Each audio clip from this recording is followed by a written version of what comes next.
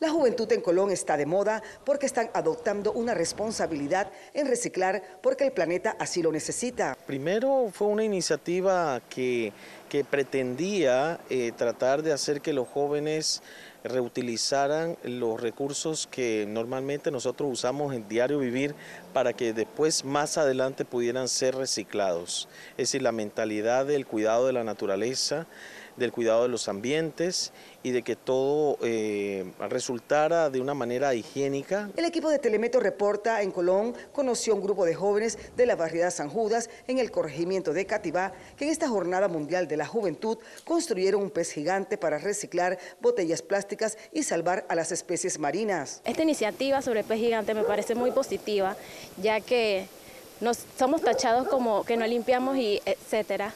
Así que los invito a toda la comunidad de San Judas Tadeo para que vengan y depositen los desechos plásticos en el pez gigante. Estos chicos, agrupados como Hair, Corazón en español, colocaron el pez creado de metal, mallas, discos compactos fuera de la Iglesia Católica de San Judas para llamar a la conciencia de reciclar y no ensuciar. Todo lo que ve aquí es donado, los materiales de hierro, aluminio, todo eso lo donó la iglesia por unos trabajos que teníamos y las mallas y eso que vio aquí lo donó el puerto de Manzanillo, el MIT. El cuidado del ambiente, también el hacer la conciencia a la, a la gente de aquí de Colón de que necesita reciclaje, de que no es algo que solamente es algo por hacer, sino que es necesario hoy en día y por eso hicimos esta iniciativa en el cual eh, de crear un pez gigante en el cual las personas pueden meter sus desechos plásticos. El reciclaje es una solución a la contaminación y una de las maneras más fáciles de combatir el calentamiento global. No dejes que el plástico se convierta en tu cena.